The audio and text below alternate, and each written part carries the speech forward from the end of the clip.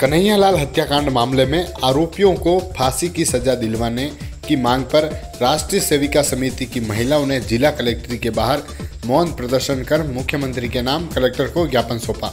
राष्ट्रीय सेविका समिति के पदाधिकारियों ने बताया कि जिस तरह से कन्हैयालाल साहू की निर्मम तरीके से हत्या की गई, उन आरोपियों को फांसी की सजा होनी चाहिए। साथ ही इस मामले में सम्मिलित सभी आरोपियों पर भी कड़ी कार्रवाई हो। और सरकार से भी हत्या के मामले में जुड़े आरोपियों की संपत्ति कुर्क करने की मांग की है। जो है, ये जो कन्हैयालाल जी की नशन हत्या हुई है, इसके लिए हम विरोध प्रदर्शन करने के लिए आए हैं। इस प्रकार सरकार को चाहिए कि इस प्रकार की हत्याओं, हत्या करने वालों पर विशेष रोक लगाई जाए, इनके इनके घरों में जांचें की जाए, जहाँ भी हथियार मिले, इन्हें जो है, उन्हें सख्त सजा दी जाए और इनके लिए जो विदेशी फंडिंग होती है, उन्हें भी रोका जाए।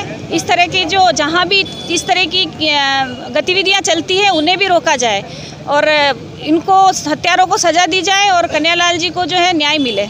इस तरह क्या होनी चाहिए, क्या ऐसे लोगों की ऐसे ऐसे लोगों की संपत्तियाँ कुर्क हो। अवैध संपत्तियाँ कुर्क हो।